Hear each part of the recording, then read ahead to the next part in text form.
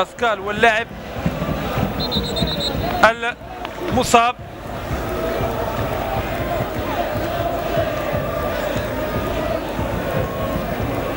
باسكال يبقى اللاعب المصاب بعد تدخل بلال.